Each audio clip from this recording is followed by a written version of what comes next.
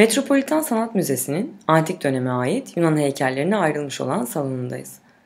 Çoğu cenaze törenlerine ait. Yani heykelcilik mezar işaretleme anlamına geliyordu. Ama az önce bir adamın bu 2600 yıllık heykelin yanına gidip sırtını okşar gibi elini üzerine koyduğunu gördüm. Bunu yapması tabii ki çok fazla sebepten dolayı yanlış. Ama 2600 yılın ağırlığı adamın üzerine çökmüş gibiydi. Bu heykel bir takım hisler uyandıran bir kadın figürüne ait. Müzede yürüyen bu adam aslında antik Yunanlıların bu heykeli yaparken hissettiği şeyleri hissetmişti. Çok çeşitli yönleri de vardı ama aynı zamanda son derece bedensellerdi. Bu salona bir Kuros'a bakmak için geldik. Genç bir adamın cenazesine ait bir heykel. Doğal boyutlarda ve mermerden yapılmış. Çıplak bir genç adam desek daha yerinde olur. Çünkü az önce öğrendiğimiz üzere Yunanlılar bu heykelleri yaptıklarında kadın heykelleri kıyafetliydi ve erkek heykeller çıplaktı. Üzerindeki tek şey boynundaki küçük gerdanlık bir saç bandı.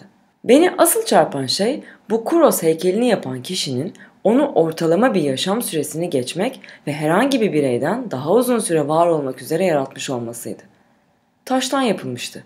Bin yıl boyunca dayanmıştı ve bir mezarı işaretlemek üzere biçimlendirilmişti. Aslında temsil ettiği kişinin hem hayatının hem ailesiyle bağının hem de ailesinin tarih boyunca süregelen neslinin bir hatırlatıcısı olarak yapılmıştı. Soylu bir aile için yapılmış olduğunu aklımızda tutalım. Aynı zamanda düşündüğümüz şekilde modern çağdaki portreler gibi yapılmamıştı. Aralarında hiçbir benzerlik yoktu. Bu onun yerine bir semboldü. Erkekliğin ve mükemmelliğin ideal bir hali gibiydi. 6. yüzyılda antik çağ boyunca bu heykellerin daha çok Atina ve çevresindeki seçkinler soylu aileler için yapılış şekli ilgimi çekiyor.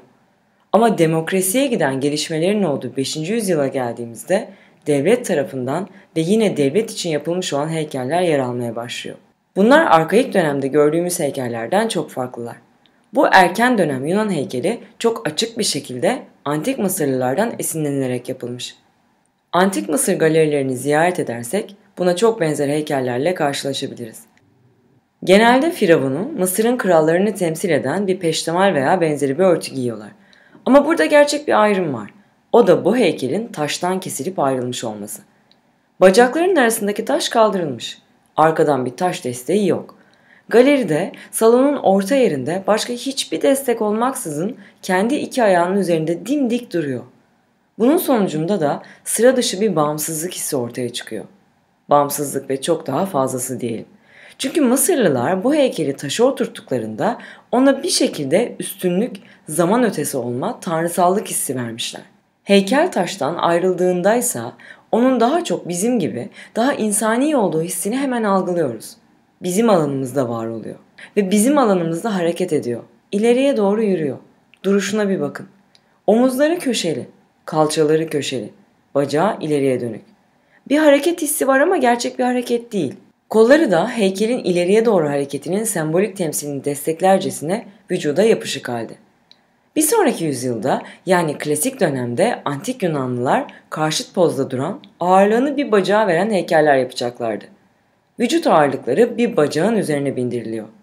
Bir diz bükülü ve tüm vücut asimetrik bir halde duruyor. Buradaysa heykel tek ayağı ileri doğru olmasına rağmen çok simetrik duruyor. Burada bizimle beraber olmakla aramızda olmamak arasında garip bir yerde duruyor.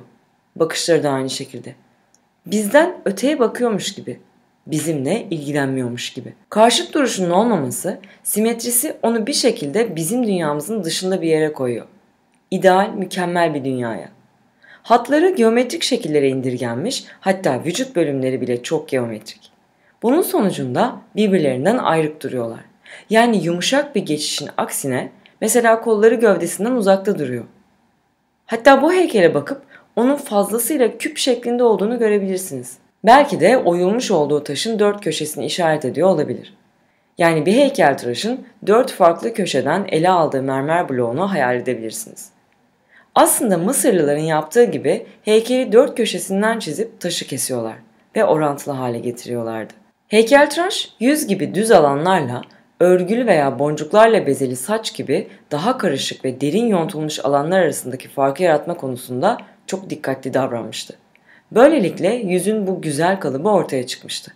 Bu dev bir taş blok aslında. Yaklaşık 900 küsür kilo ağırlığında. Arta kalan neredeyse bir ton taş var. İki dar açıyla desteklenen ve dengede durabilen bir heykel yapabilmeleri harika bir beceri. Hem de düşmeden durabiliyor. Ama heykeltıraşın kolları desteklemek için kalçalarıyla sıkılı yumrukları arasında küçük bir köprü yaptığını fark edebilirsiniz. Çünkü havada asılı duruyor olsalardı çok kolay kırılabilirlerdi. Buna rağmen bu heykelin 2600 yıllık olduğunu görebilirsiniz. Belli ki müze tarafından parçaları tekrar yerine yerleştirilmiş. Yani zamanla kırılmış. Bunu incelemek ve neyin yeniden yapım, neyin orijinal olabileceğini fark etmek hep çok ilginç oluyor. Ama burada gördüğümüz her şeyin orijinal olduğunu düşünüyorum.